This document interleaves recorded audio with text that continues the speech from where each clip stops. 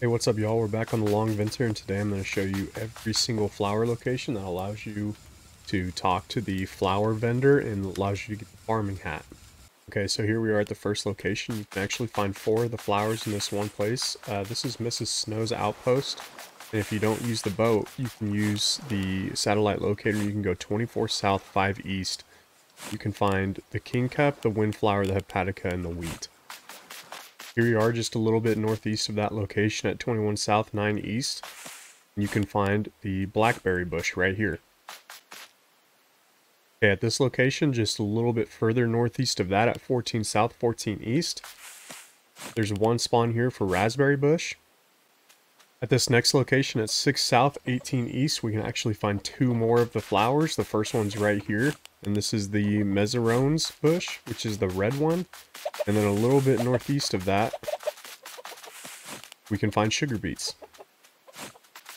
And if you go directly northwest of this location, there's two spawns here. The cloudberry bush, which is the yellowberry. Once you got all those flowers, you make your way back to Mrs. Snow's boat, and you want to head to Sergeant Lake's outpost. Show you that now. Okay, here we are at Sergeant Lake's outpost, and before we do this next step, you need to sit at this campfire and get your health back. Okay, once we got our health back, you want to follow this exact path that I take. Um, you only need four energy bars to make this cross, but you want to come to this point and go straight out. Uh, you want to swim straight across this water and just follow this exact path that I take. A little tip while you're doing this, when you get over to this ridge, it's going to come up a little bit. And you want to follow this, this coastline, because you're going to save some energy if you do this right. So once we get up to this ridge, we're going to walk up a little bit and you're going to see we can actually run. You want to just follow this all the way around. And here we are pulling up on my base. We have a triple base set up, me and my two buddies. And as you can see, we're making all of our money with these black lotus plants. Um, also, at this location, at this spawn, there is three different flowers if you couldn't find them at the other spot. But the next step you want to do is you want to get full health and come to this point right here and make sure, this is very important that you have full health because where we're going, it's going to take almost all your energy to cross this point. Let's get full health and then make sure you follow this exact path that I take. I actually showed this in another video on how to get the Black Lotus and the Poppy. Um, if you haven't seen that video, make sure you click on that. Okay, back at full health, I'm to pick up this campfire, and we're just to run straight out. Trust me, this is not to kill you. Um, I thought the first time this was to kill me, but you just want to go straight out from this point, and you're not to see any land, because usually this beachhead, you can't see anything, and I explained this in the other video, but if you just swim straight across, we will find this other beach. I'm not going to cut this out because I want to show you that I did indeed swim all the way over here and you're not going to die.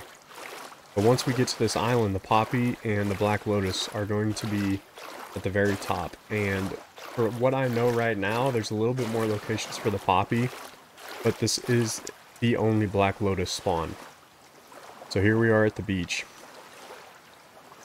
Now you want to run straight forward and you can see right here, the Black Lotus and the Poppy are spawning, and this is also the Peacock location.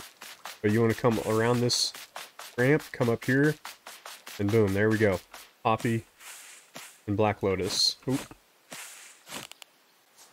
And make sure before you cross back over, you need to get full health.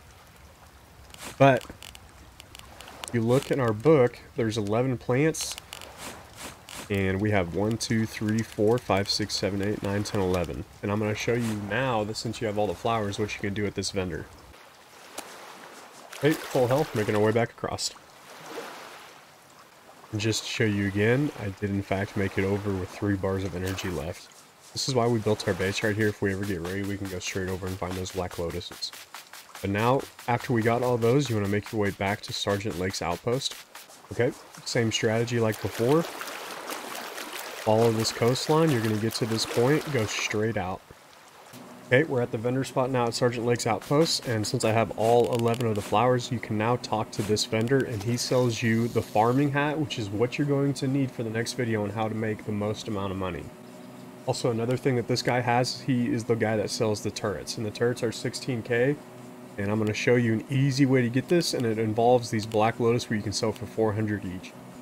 If this guide helped you out, make sure to hit that subscribe button because we're going to be covering this game a lot, and I'm going to be giving a lot more